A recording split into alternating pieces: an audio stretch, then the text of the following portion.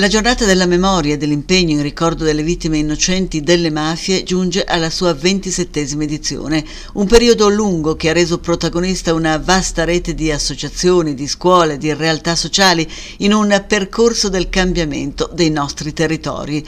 La giornata è riconosciuta dallo Stato attraverso la legge 20 del marzo del 2017. In questi anni molta strada è stata fatta per combattere le mafie, moltissime sono state le iniziative, i percorsi di cambiamento proposti e realizzati, ma anche le mafie hanno modificato il loro modo di agire, rendendosi più nascoste, più invasive, più pericolose per le nostre comunità e la nostra economia.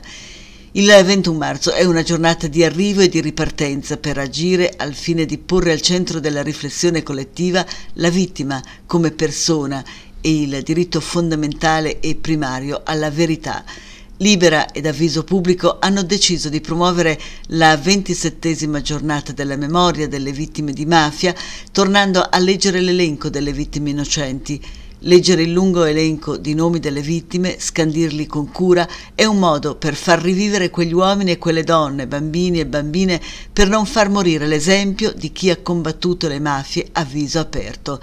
Per questo l'appuntamento sarà sabato 19 marzo alle 17 presso il giardino 21 marzo, antistante la provincia di Biella, a condividere insieme la lettura dei nomi delle vittime innocenti delle mafie. E lo faremo, si legge nella nota di Libera Biella, con una manifestazione statica all'aperto nel rispetto delle restrizioni dovute alla pandemia. Al termine verranno letti i contributi degli studenti sul tema della pace.